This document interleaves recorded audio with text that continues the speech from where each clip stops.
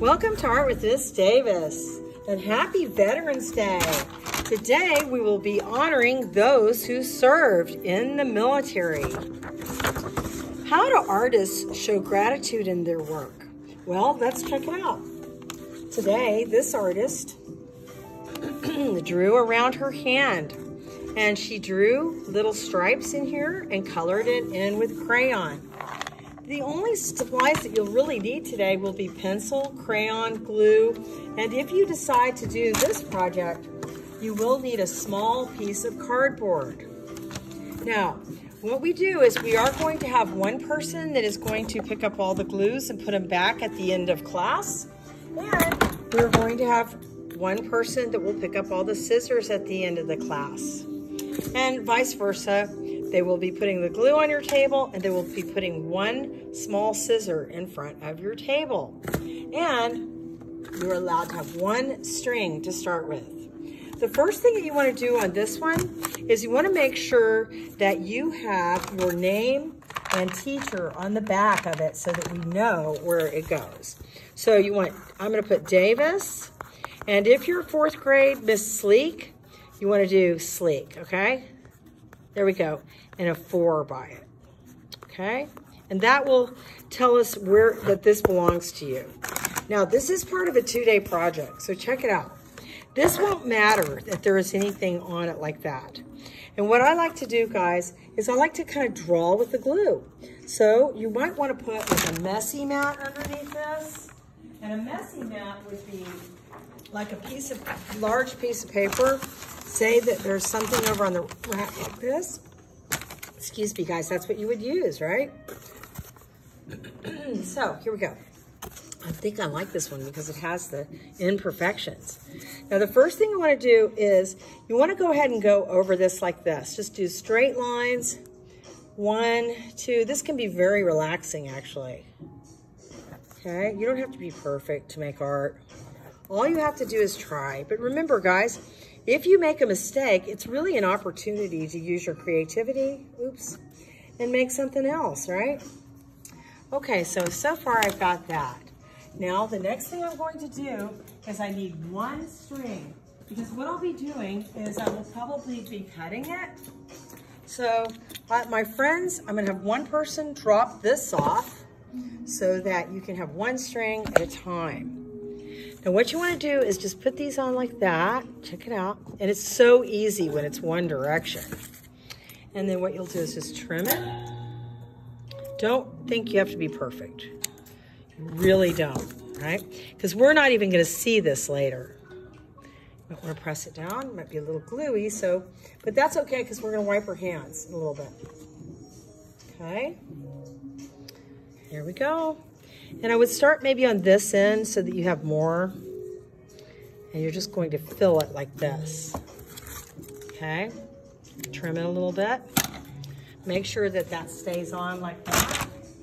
Okay, and then once you have filled all of this with strings, you will have a little piece of cardboard that you can put over here that's gonna look great, okay?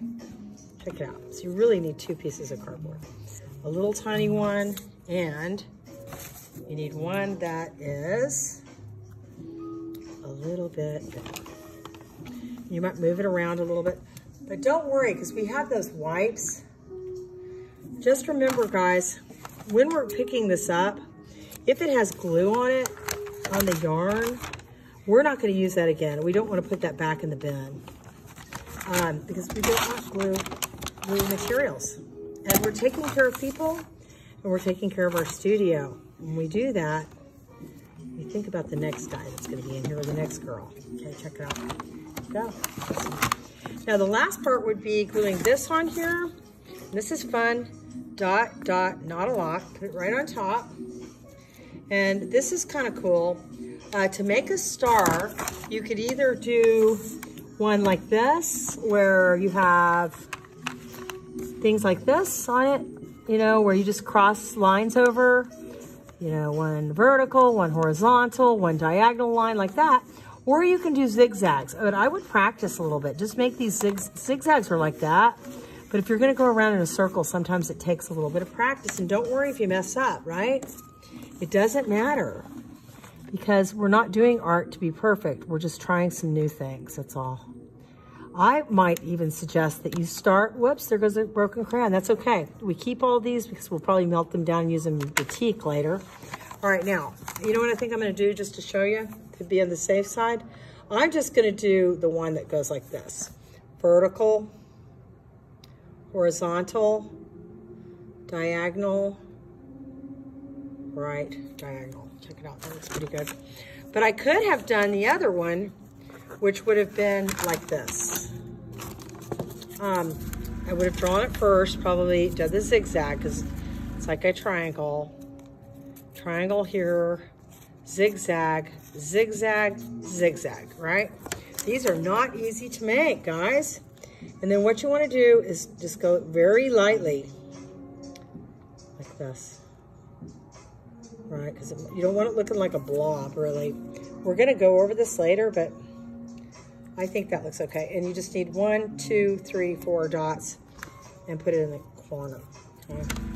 Now, when it is time for us to go, all you have to do is you're gonna pick up your messy mat and walk your messy mat to the back and slide it in, it'll be safe.